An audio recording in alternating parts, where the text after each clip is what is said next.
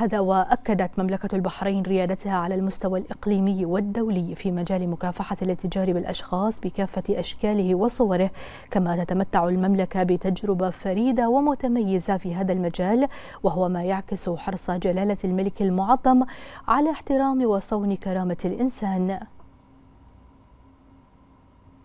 نموذج رائد قدمته مملكة البحرين في مكافحة جريمة الإتجار بالأشخاص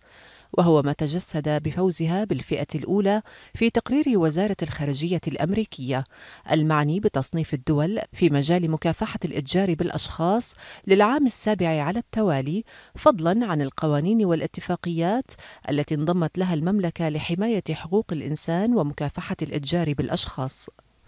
واستمرار مملكة البحرين في الحفاظ على موقعها الريادي ومكانتها الدولية في مجال مكافحة الإتجار بالأشخاص هو إنجاز حقوقي رفيع المستوى ضمن أعلى تصنيف معتمد في هذا المجال. وهو ما يعكس حرص جلالة ملك البلاد المعظم حفظه الله ورعاه على احترام وصون كرامة الإنسان والالتزام بتنفيذ توجيهات سمو ولي العهد رئيس مجلس الوزراء حفظه الله بمأسسة العمل الحكومي ضمن استراتيجية تنموية شاملة تقوم على أسس احترام حقوق الإنسان وترسيخ ثقافة مكافحة الإتجار بالأشخاص ضمن عمل كافة الأجهزة الحكومية المعنية.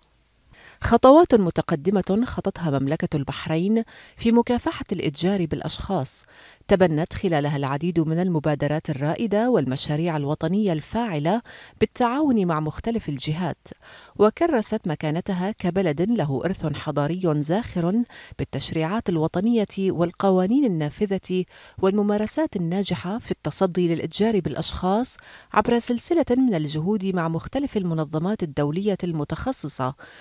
والبعثات الدبلوماسية لتعزيز الوعي بحقوق وواجبات أطراف الإنتاج. ضمن منظومة عمل متكاملة تبدأ من التوعية الاستباقية واللاحقة وصولا إلى الحماية والإنصاف وفق مبادئ حقوق الإنسان والحريات الأساسية ووفقا لأحكام الدستور ومبادئ ميثاق العمل الوطني والتشريعات الوطنية والمعاهدات والاتفاقيات الدولية.